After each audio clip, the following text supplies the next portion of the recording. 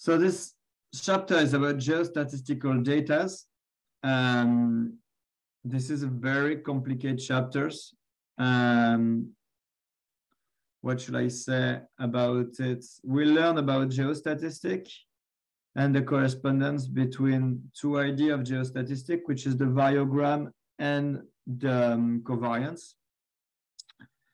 And then we will see like how we can use um, some covariance function and some approximation uh, to convert them uh, into uh, to move from um, uh, a continuous model from Gaussian random field to um, a model I do not remember, but that's a discrete model that we use mesh. We'll see it later in the stochastic partial differential equation approach. And then we'll see how we can implement what we have seen into INLA. And uh, some part I will say are more transparent than others. So we'll progress with it, I guess. So geostatistic. remember like what we have seen before was areal data, which was discrete data. That's mean like we can divide the space into discrete blocks. That's we usually we can call polygons. Uh, here we'll study a continuous phenomenon, for example, the density of mosquitoes. I assume there are more than one. But the process is recorded at specific location. For example, the mosquitoes are, have been caught in some trap in the place, in let's call it the domain, like the, the, the space that we are studying. So we have a special phenomenon that's called Z, that's a special variable. That's uh, we have observation of this variable at variance set locations. That's called S. All of them are, are into domain that uh, also are encompassed into some dimension. Usually two, but can be more. So this can be assumed to be like a Gaussian random field. I will give you the definition. Like a Gaussian random field is a collection of random variable so all of the uh, spatial variable, where the observation occur in a continuous domain. So we are in the same idea as a geostatistic, but where, oh, you can see my screen now? You couldn't see? I just had like a message like saying like can see it now. Okay. Uh, uh, and we have a finite uh, collection of random variable. Here, usually the finite collection into our approach is latitude and longitude. That's why we'll see like later we have a dimension of two. But we can assume like it can be like three sometimes. And in, if you had, for example, time, or if you had like, for example, uh, altitude, um, altitude. Just to, because like some book will also use other terminology, usually a random process is also sometimes called a stochastic process, which basically mean like it's something that it's moving. So by definition, it cannot be constant. But just later we'll see like, well, even if it cannot be constant, we'll still manage some way from it to be stationary. It's kind of like some constant. And you have various kind of stationary. The first one is like the strictly strong stationary. The strictly and strong are both used. There's a lot of terminology and jargon in these chapters. And I'm not sure like uh, in some other books it can be different. So even if you learn the terminology, like just keep in mind, like try to remember the concept I feel behind them. So when something is called strong stationary, it's basically like meaning like if you shift in location, you will not result any change in the distribution of the random variable. The easiest way to feel that, to understand that, if if you check in one dimension, if you put like a white noise, you know, white noise are like stuff like varying but the, the randomness are equal everywhere. So a good example of something that is strong, uh, strictly strong stationary uh, process uh, is a white noise. Uh, most likely what we will use is the weak stationary or sometimes called second order stationary. Uh, that's mean that will be like the mean are constant over the domain. So every location can have other like variable, but if you plot the mean over the domain, it will be flat. It should be the same. And usually the covariance depend only on the difference between location h. So this is another, um, and we will see like, um, um, I will, so this is the, what, what it means. So the covariance will equal the covariance of the spatial um, process at one point and another point of distance h will be equal to C and C is a covariance function. We'll see some example of covariance function uh, but that's what uh, it implies. I will go straight into define uh, isotropy and anisotropy. I think I, I speak about it a bit later, but oh, I have like, I felt like it. But uh, so H, this is the distance. Sometimes you can call it the lag also. Uh, it can, uh, it's usually at first you can assume it's a vector. And a vector is defined by two stuff. It's defined by a direction and a, and a, a length or a power. Here, to make things simpler, we'll assume like the direction does not matter, which is uh, what we mean by isotropy. So usually it's not true. Usually, like for example, you can have a process that's going to a direction more than in one others. You can see that, for example, uh, if you have a, run, a, a, stochastic process on the mountain, let's say like it's, it's on the field of the mountain, you will have an effect of the slope. So you will have the effect of the mountains on all the domain. So on the two dimension, but then the slope will, will, will change it. So one way like usually it's corrected in geostatistics is like you will define more than one variogram for the two direction but the book does not cover that now. Maybe it will cover later. So currently we'll put ourselves in the ID of isotropy, not anisotropy, which means like the direction of edge do not matter. So we just care about the power of the vector of the distances. So it's simplified bit stuff. Okay, uh, usually, like we also use the intrinsic stationary, which means like the variance between two locations running only on the distant edge and not their location. This is a bit more tricky, but it's kind of related.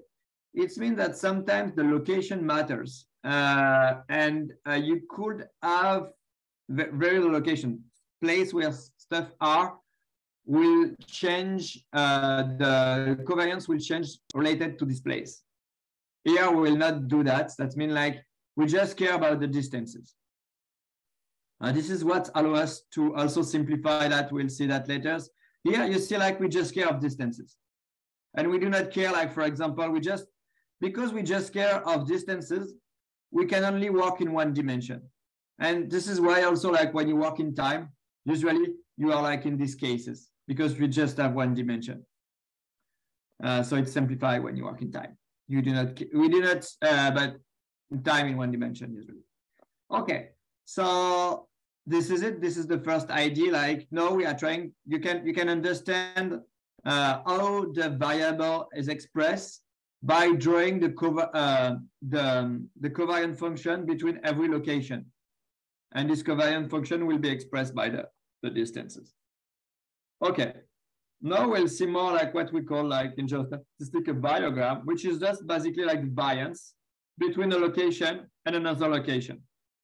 Remember, are in intrinsic stationary, so we just care about um, we just care about age.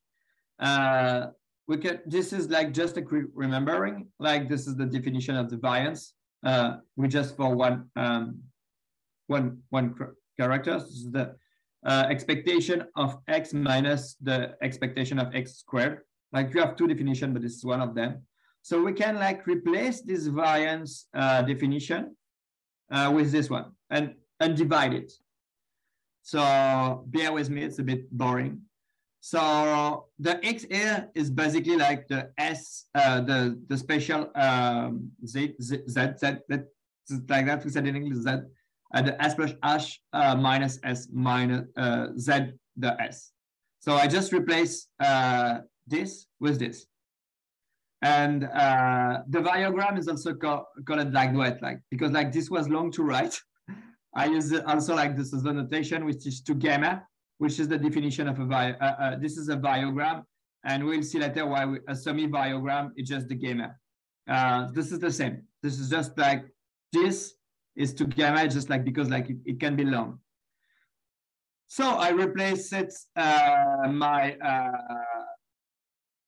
my variance here, like the x minus uh, the expectation of x here, and then I developed it.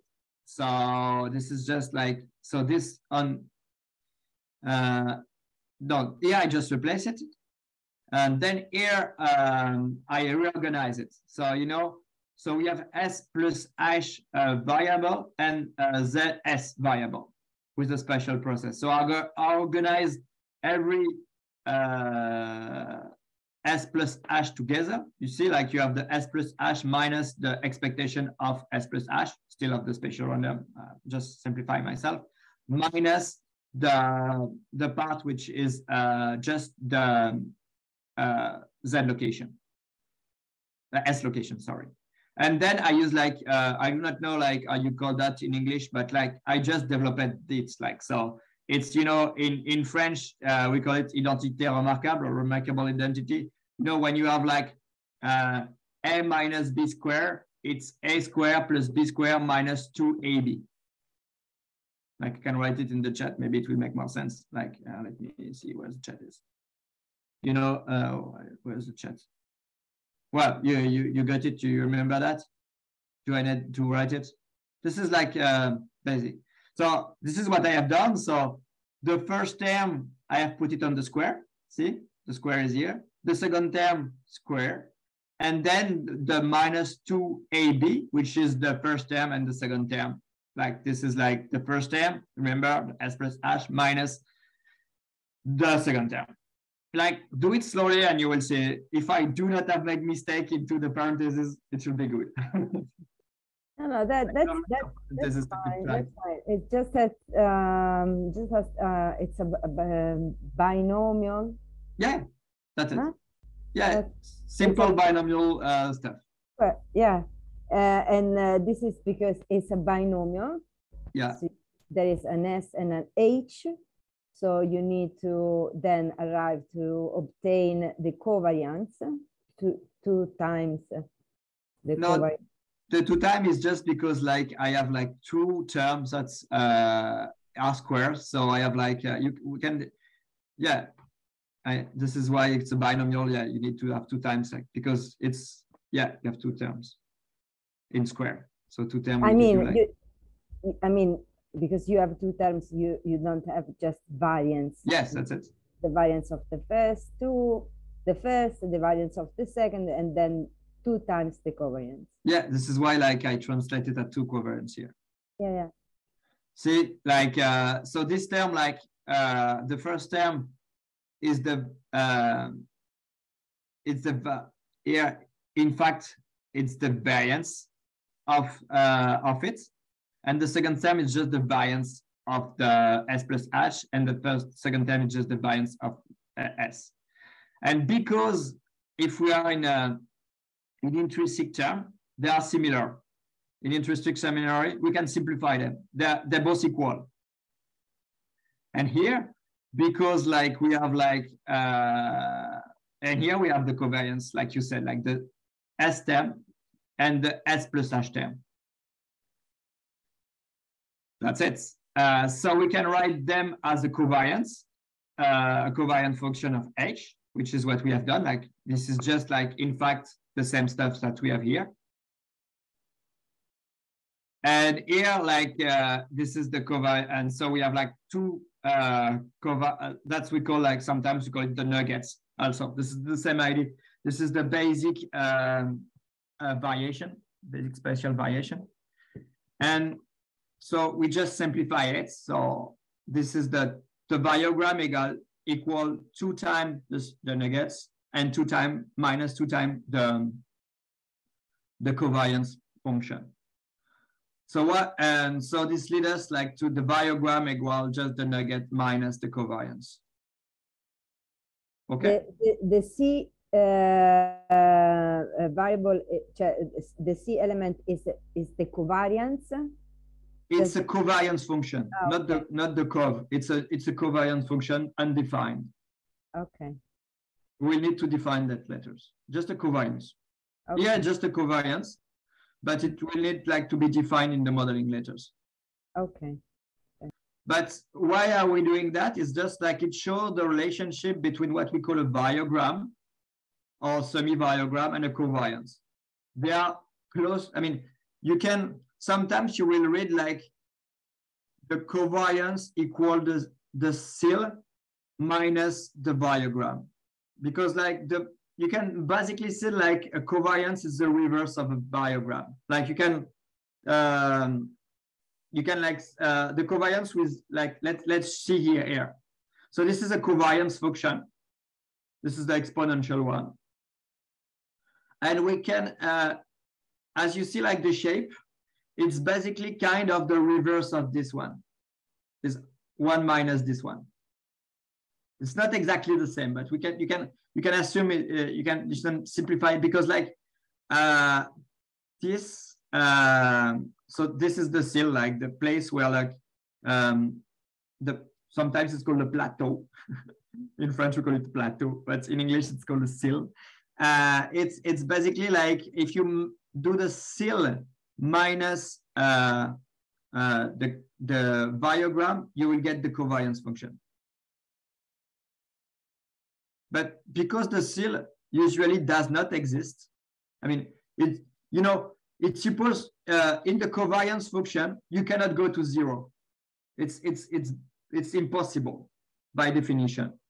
But here in the variogram, you can still increase. You know, it's, it's, it's possible to, to still increase. So this is like some difference between them. Like uh, they are not exactly like reverse. One like cannot go to zero and the others like can improve the, all the time. Does it make sense? Let's, let's go a bit like, so here, usually what we calculate, I, I just changed it a bit like from the book. The book just used the two here. It's twice the empirical bio, it's the empirical variogram. The more common way of writing it is a semi-variogram. Where, so the two here, did you see it like this two? It can be here. This is the same, right? You, you just if either the two is here or you divide the other right, either the it's on the left end or you can put it on the right end by putting it at the denominator. You can divide by two. This is the same idea. So, and we, we do like basically the same. So it's just like the distances SE and SG is basically like the distances between every places. If you simplify it and say like every point is at the same distances, H it's basically like the same as saying like S plus H minus S. Just like it's it's the collection of distance between points, and we generalize it here. And it's square because like uh, you want, uh, it's mostly because you want to uh, have it positive.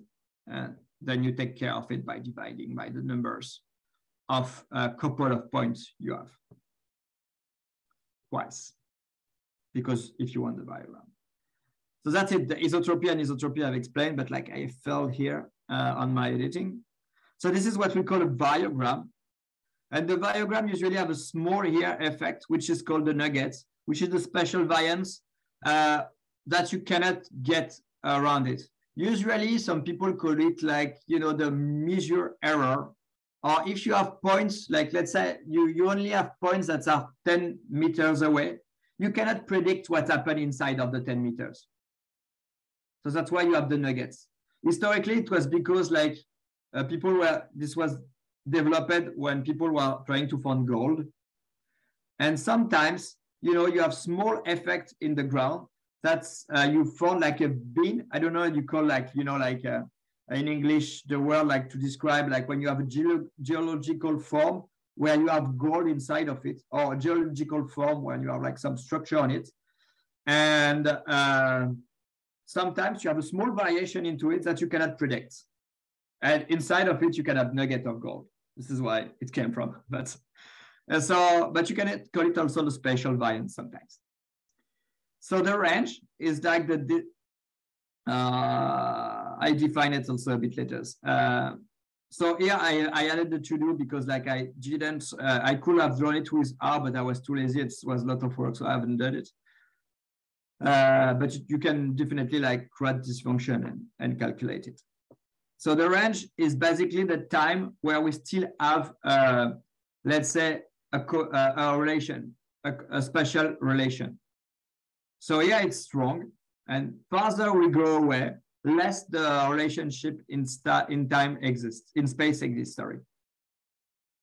So when we are arrive here, uh, it's basically mean we do not have, if like, let's say like I have a point D1 and point D2, and if they are outside of the range, it's basically mean we can basically say that they are independent. We do not have uh, correlation or covariance between them. That's just like the variance of the field. Okay. So this is also one way to check uh, if you could say they are independent. Uh, so to modelize that, usually we pick a distance. Uh, and remember, the covariance is just the variance multiply the correlation. Like I have that, like this is this is just uh, yeah the co I mean, usually, you know, more like usually the, the correlation is equal to covariance divided by the variance. So if you flip it, it's go that way. Uh, so if we want to define um, a, a covariance function, we can define it as a variance time a correlation function. This is just the variance. And obviously we need to check that D is always positive because variance can, can only be positive. If you want like the p uh, row of G, if it's, it's bring you something negative, you will fail because it, it's not possible. Variance can only pos be positive. P indeed is a correlation between uh, uh, rho D, sorry, is a correlation function. When rho D, uh, and when rho D is equal to zero, it's called a variance. That's mean like we're just in this situation. This is the minimum distance when random observations are said to be independent. We are here. Uh, this is very hard to get, in fact, because like, you know, like this sill, it can always, always improve the bit, you know, always, always a bit. So a lot of time uh, we are using effective range. It's not in the book, I'm just telling you that. I mean, it's in the book, but it's not said uh, as effective range. Uh, here we are using usually a very low amount of correlation. Usually it's 0.05. So, you know, here it's still increasing a bit. So you still could have like a bit of it. But uh, we said like it's when it's only increased that bit, uh, we said it's it's down. And it, she is using in the book another one. She's using 0.1, twice the what it's used usually. Okay, no question uh, without that. So there's a lot of covariant function. Uh, the exponential one uh, is probably the easiest one to understand. So the covariance will be equal like the variance time and exponential minus rate, k is the rate, uh, with the absolute value of the difference between two points at certain distance. So here I have like show how you can do that. I'm sure Federica, you, you you can give us like a a, good tidy version of it. I was lazy, so I just do like a, a base plot version. But yeah, I have just drew like you know uh, a sequence from usually like you want something like that go from zero to one. I define the functions that go sigma, which is my variance, k, which is like my rate, uh, and h, which is the distance. Uh, I was lazy because I didn't want to compute this uh, matrices of distances. So I just put like, but you could, you could do that. So you just take sigma squared times the expanse minus k. Oh, Federica, are you coming in another? Are you here? I see, we see your. Yeah, yeah, yeah. I'm duplicating myself because I'm switching on my mobile and then okay. I'm leaving here and go back there so that's it. So and then like i have i have reproduced the same plot that she has done. So more you increase um uh, less the rate is less the covariance decrease and more the covariance i mean this is like for slow rate and a slow rate gives you slow slow slow the covariance decrease slowly. And if you do like a strong rate like you basically have a very uh well you have more than in exponential case. Then this is like the Matérn models, which I haven't uh, um, played a lot with. So it is like you basically like have like the uh, the, the, the variance divided by two exponential like b, I think this is the smoothness, if I'm correct. I will have to check that, uh, times the gamma function. The gamma function is just uh, n minus one factorial. So let's say if you have three, gamma function will return two.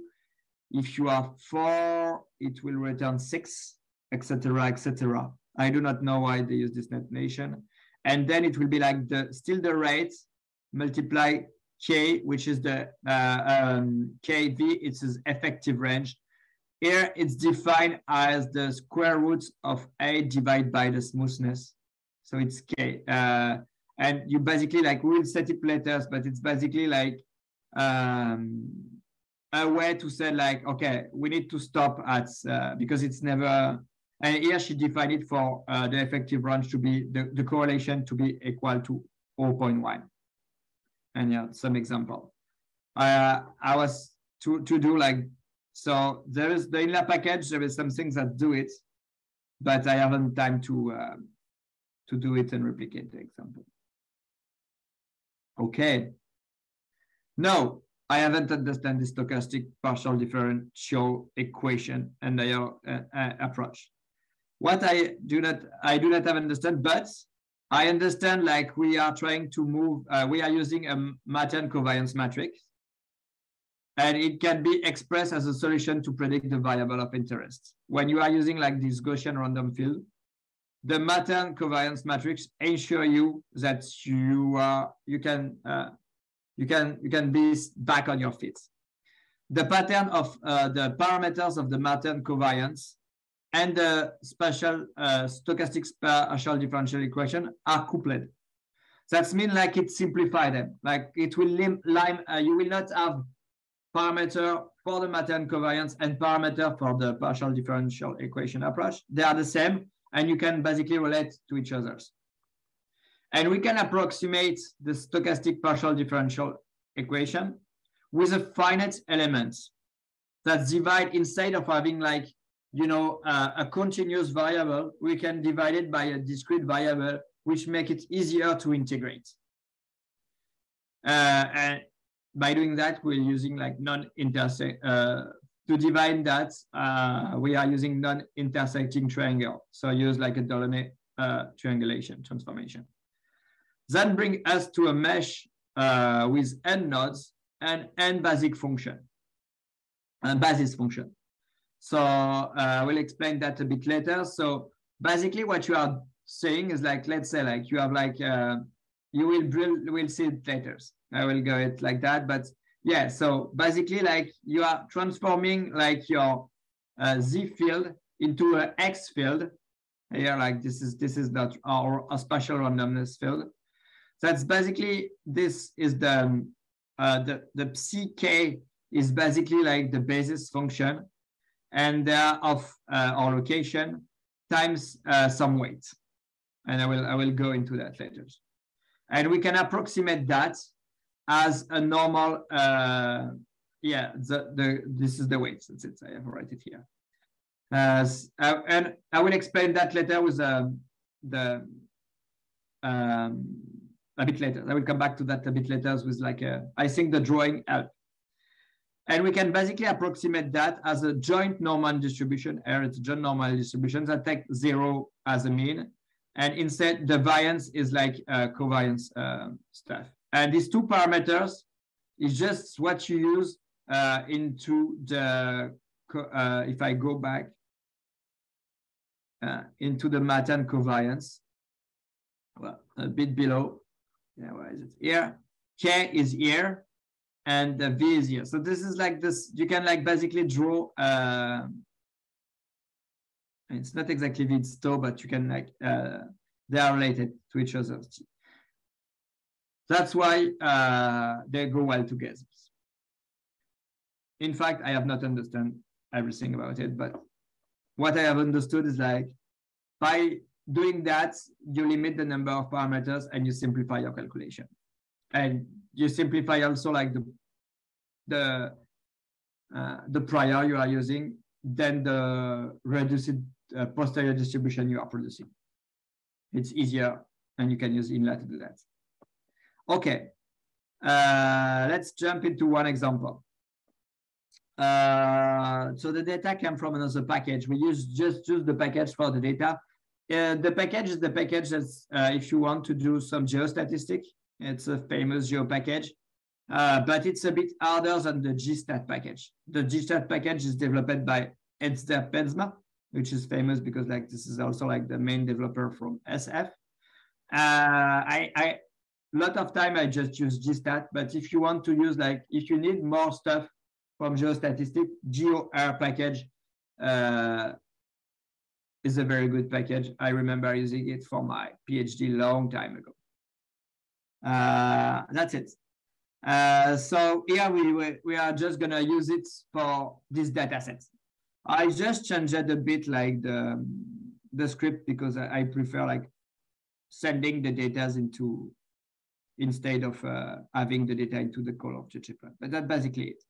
So you have like, uh, it's a region in Brazil uh, where you have like 143 stations that measure the rainfall.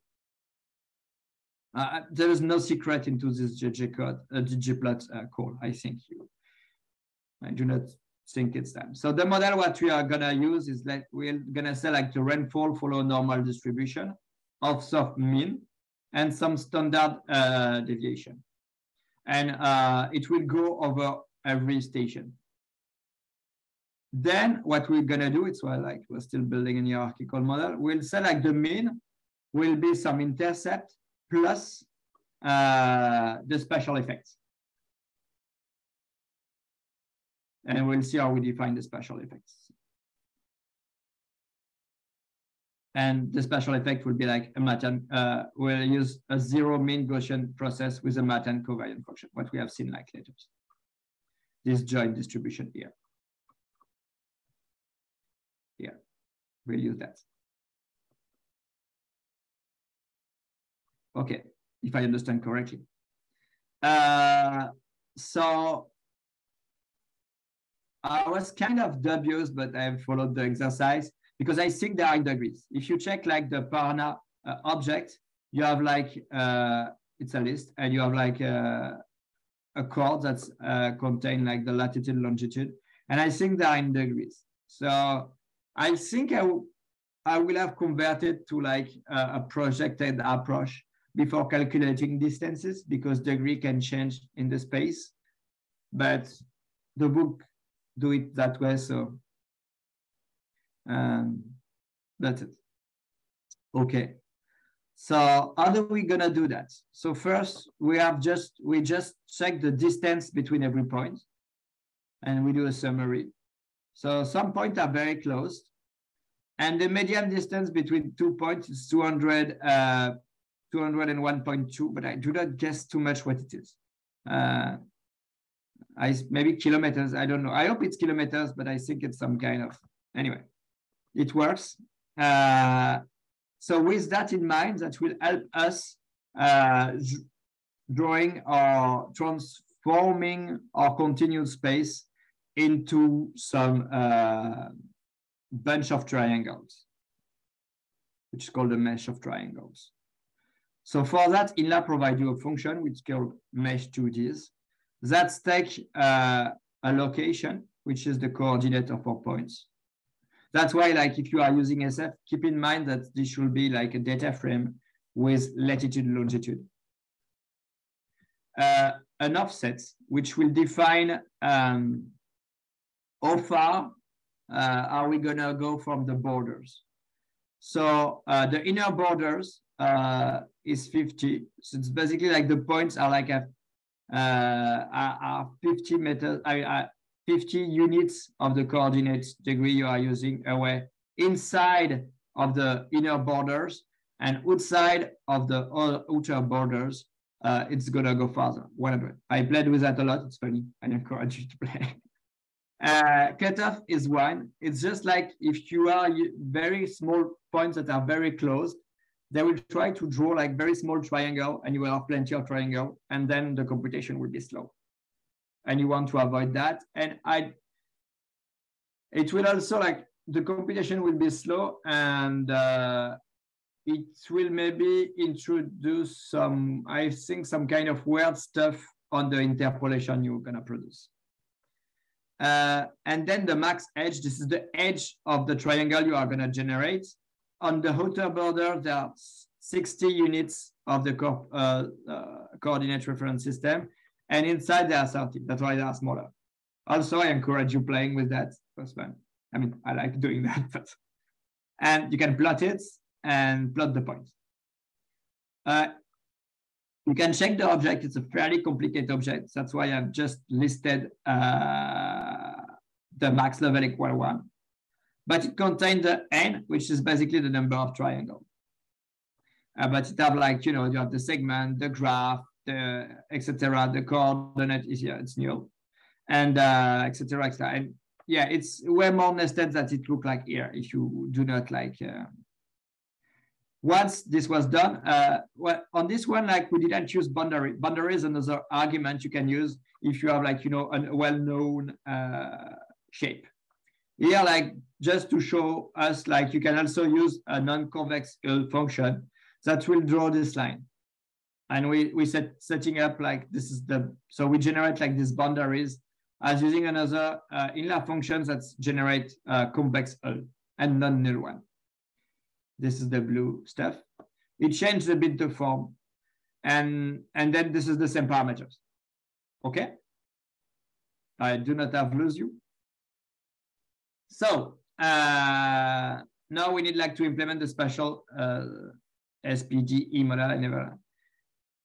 Uh, the so we are gonna use this uh, mesh datas and we need to specify uh, the alpha, which is the smoothness, if I remember correctly, which is equal to t, d, the number of dimension.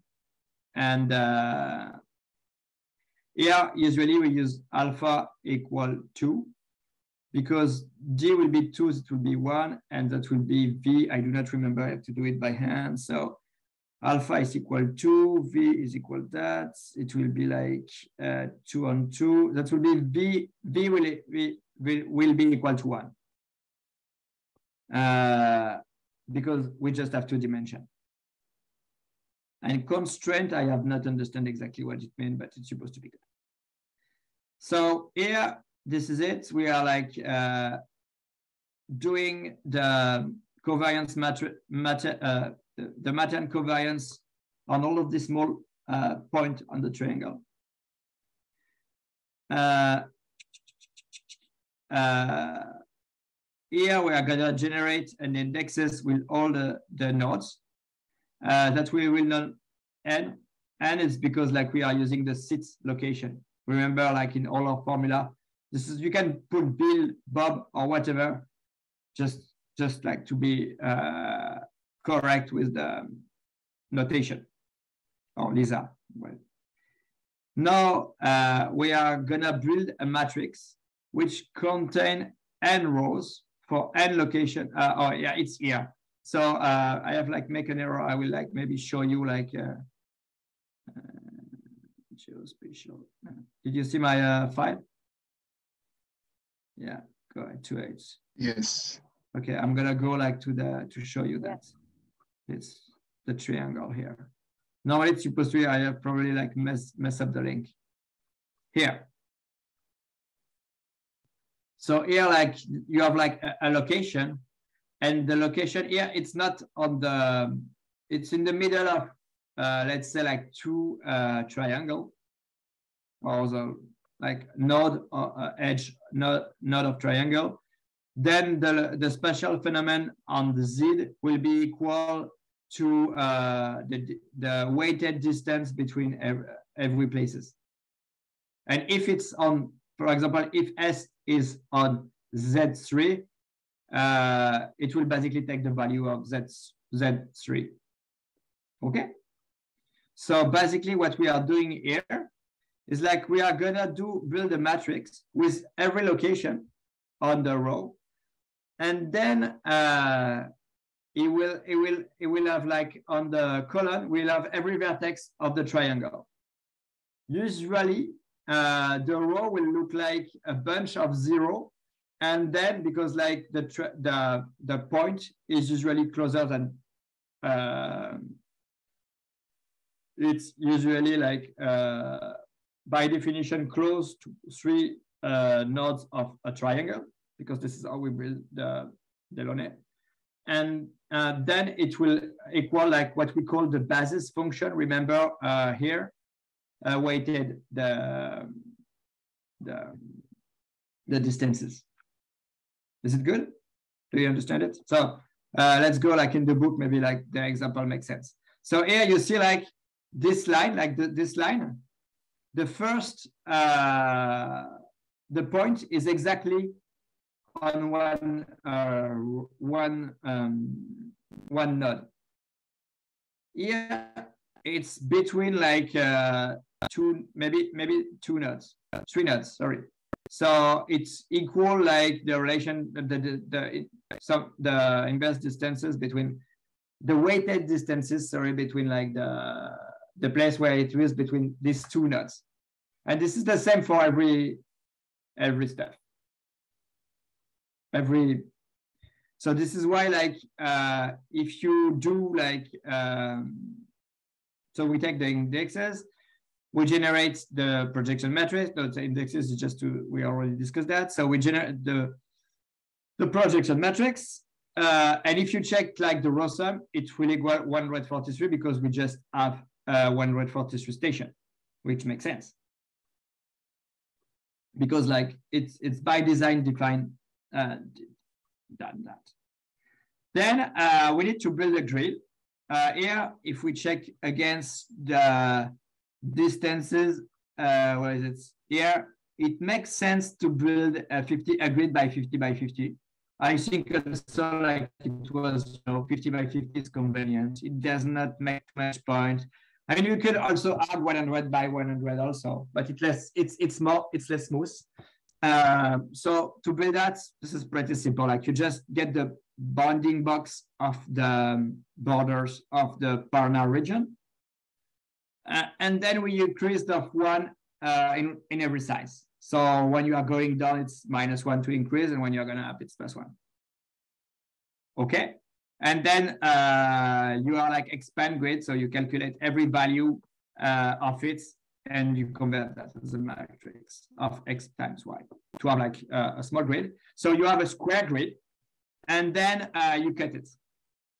You cut it with the boundary, so I do not know like this pointed polygon. It's a old function from SP, uh, but you can use it also. Uh, I have a, I was too lazy to do it in SF, so but you can probably use SF to do the same.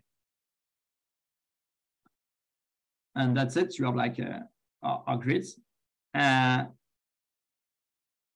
then uh, we are gonna build. Uh, so we are going to build a, a, new projection matrix will be which will be empty.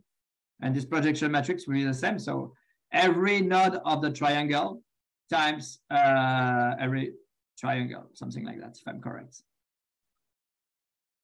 No, probably not. Anyway. Uh, so now uh, we are going to build what they call a stack. I do not understand everything. This is the part where like the software, it's kind of be less transparent. So we are going to build two stack. I understand why we are going to build two stack, but I do not understand what exactly what it is. Uh, one stack will be for estimation and one stack will be for prediction. So I guess that. Uh, so this is, I assume we can change the name of it. Uh, on the first one, the estimation, what will take? The data need to be like the data. So we're gonna just, but it need to be a list. So we are good, and we call it Y. I do not know why. I, I haven't played with it enough to know if it's important, but it's basically like the rainfall data. Then uh, A will be like the list of one into the projection matrix, so a list of stuff. And the effect we want, according to our model, are our uh, beta zero, which is the intercept, uh, which is just the value of uh, the indexes of every uh, n row of our coordinate and the indexes. This is, we want like the, this is the spatial effects. And then this is the prediction stack, which is be, which will be empty. This is see like the list of y equal na, and we will fill it with the with the our nodes. Then we we just add them together. I do not know what's the inla stack function do, but this is uh, like I'm like cooking with products that I do not understand. but okay. Then a formula, which is pretty straightforward of what we have seen before. So our formula is y. That will be equal zero plus b zero, meaning like we do not care about the intercept of, um, for no intercept uh, between uh, spatial effects. And uh, we'll use the f function classic of inla, meaning like we want the s. Um, so the our spatial effects called s. And the model we use is the spatial differential uh, spatial SPDE stuff. Okay. Then we'll call uh, this inla call also is not is, is less clear. That's what we have done before, I feel. So we call the formula same as before. Uh, instead of data, now we are calling the stack and we are calling it with stack data. So we are calling the full stack, which has prediction and estimation inside of it uh, in the data with inla stack data. So it has both the data and the empty grid. The controller predictor is the same. Like we want to come uh, to have like the computational tree give us like um, uh, the estimate of it, not just like the prediction. And uh, this is the A part, which I'm still unclear about it. That will uh, that you need to also input. Uh, see, this is the inla stack. That's A, and not the inla stack data and you still input the, um, the stack full. I assume it get that, the element here. Let's take both of our grid we generate before. Okay. Then we call it, I have some warning. Uh, doesn't seem important, it worked. Then, uh, okay, so now we have like, a, uh, we finally have the results. Uh, what we want to do now is regenerated the indexes, uh, which will bring us the indexes of every node. And we want the prediction. So if we tag estimate, you will have the estimate. If you tag pred, you will have es um, estimate. That's why like, if you change here, I think, I'm not sure, if you change here, you need to change it here also. And then you want just the data.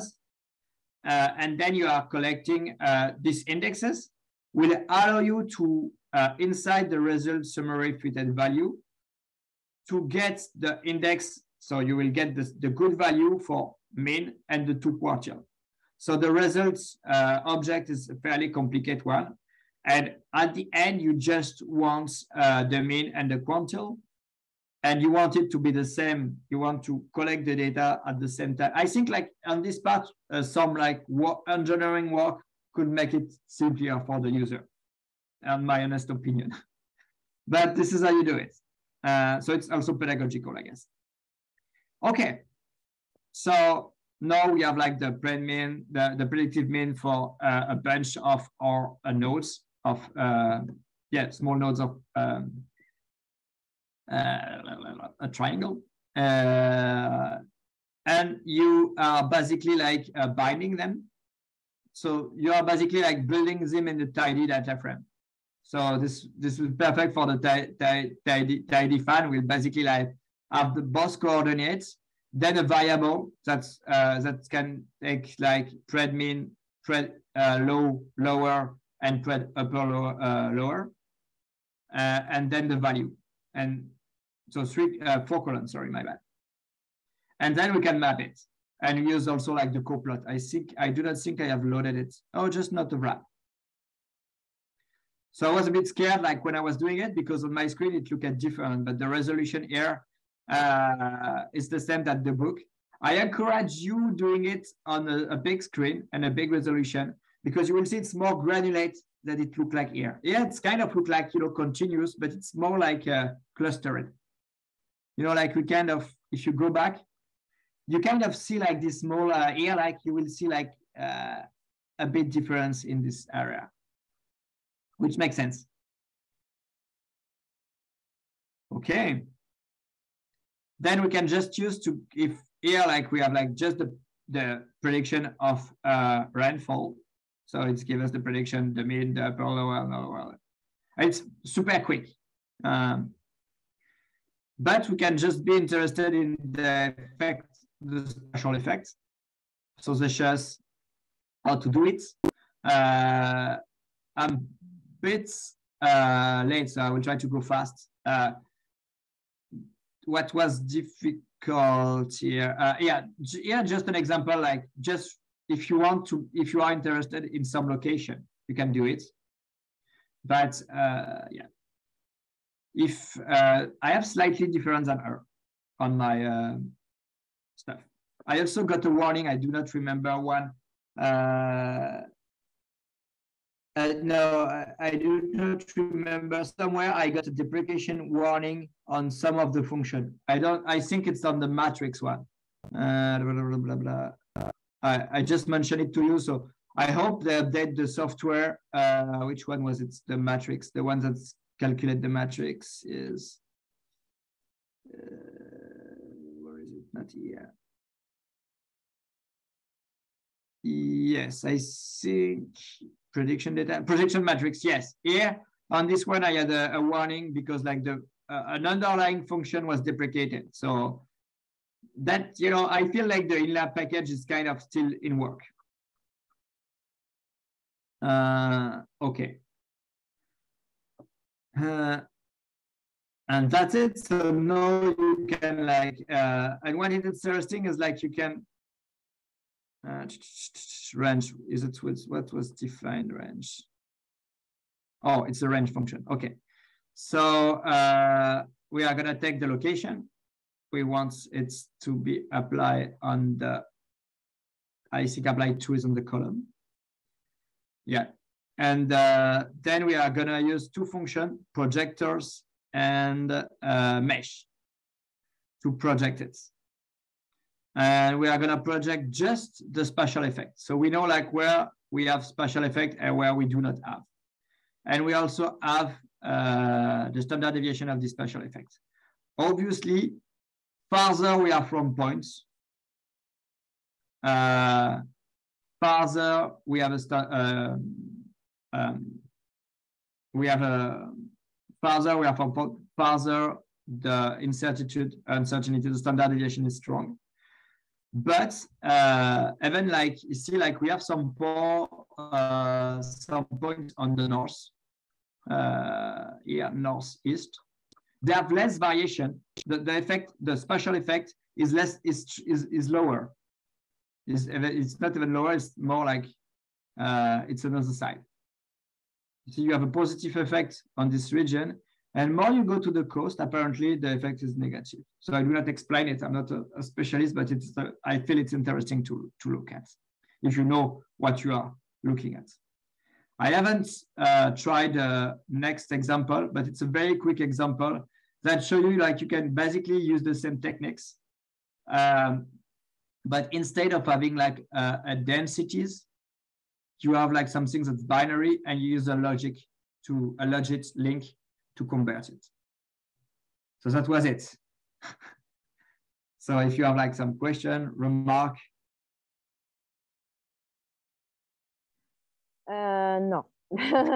no, it, it's a I feel it was a difficult chapters and not everything is clear on my head, but at least I can reproduce it now yeah yeah i think more more example will, will be will be useful. More example more case studies and the application of this uh, um, into other um, yeah. Say, yeah next two chapters are just case yeah. studies okay great. so we'll we'll be able to play with it. And after no more modelization just shiny. So we are we are we just have two weeks of uh, INLA and then like we, we play a bit with Shiny and and, and Flex Dashboard, which is and, fun. And it's Christmas time. And it's Christmas and, time. Uh, and New Year's Eve. So, so we will take a bit. Yeah. I think I'm progressing. slowly. but uh, yeah, I have still a lot of lot, lot of stuff to progress. Like this book, like Bayesian modeling of spatial-temporal data. I don't know if you said it. Yeah, I'm here. Which one? Uh, I will put the link on the chat. Helped me, uh, helped me a bit to understand Uh, everything. Yeah, because I was I was reading a book. I thought it's the same. Which one is that? Bayesian modeling of spatial-temporal data with R. Ah, okay, that that's nice. And the chapter two, the chapter two is just like all the terms defined hmm and the- Okay. the relationship between them. That's it. And yeah, so it was like, uh, that's why like last week, I, I haven't these books and I just have my notes on it and I needed to review them.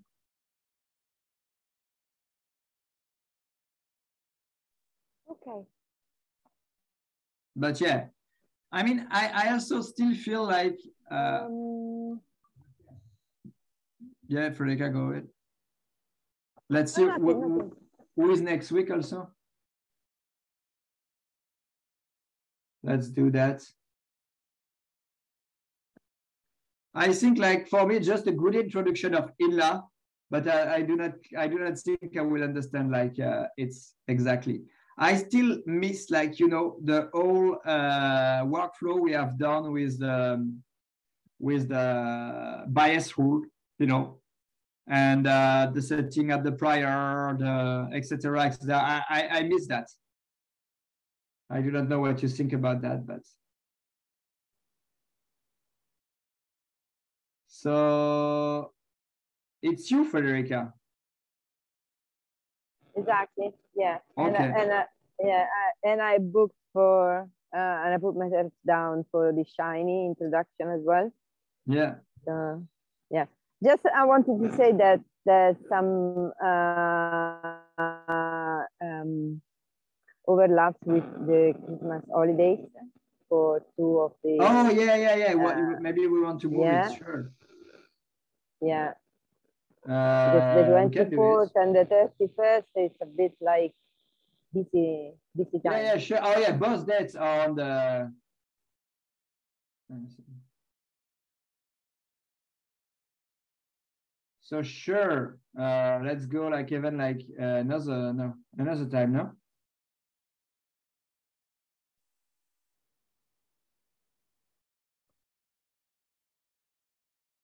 Let's put the no meeting here.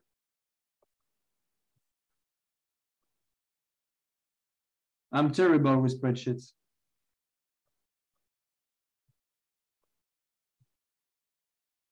Okay, but yeah, yeah, sure. Oh no. they are evil. I think uh, I have to join another meeting. Yeah, sure, Thank- sure. Go ahead, uh, Okay. uh, But yeah, we're good. I will, uh, we will not work on Christmas Eve and on the and on the um, sorry on the um, on New Year's. Uh, is it good? yeah, yeah, the 31st as well. Uh, so, I will do that, I will do that. It's just a bit like a busy time. Yeah, yeah, I'm doing it. Yeah. Okay, so Well, thanks. Um, yeah, thank you. No, no, thank you too. And uh, well, maybe see you soon, uh, Federica, on the book club.